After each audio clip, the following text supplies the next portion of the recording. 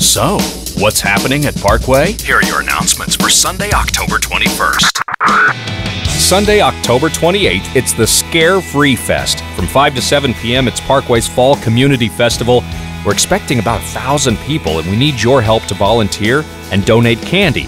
There are all kinds of jobs available, from working a fun game or booth to setup and parking, even serving food.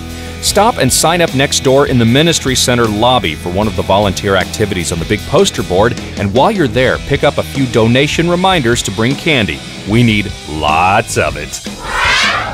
Tuesday night at 6:30, it's the Pink Ladies Club meeting, an upbeat and encouraging club. It's for women as well as family and friends affected by breast cancer.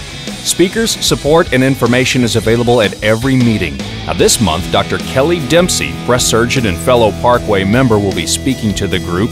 This group meets the fourth Tuesday of the month in the Ministry Center in room 229. And of course, October is Breast Cancer Awareness Month. If you have any questions, contact Terry Blanchfield or Debbie Ochoa.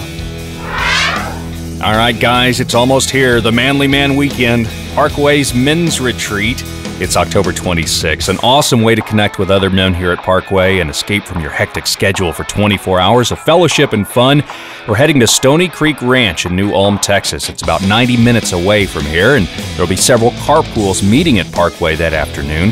They're going to leave between 2:30 and 3:30 on Friday afternoon, and even if you have to come late, please come. And please register on Parkway's website. The cost is $80 per person. And if you need more info, you can contact Charles Swihart. And that's what's happening at Parkway United Methodist Church. Thanks for coming to worship with us.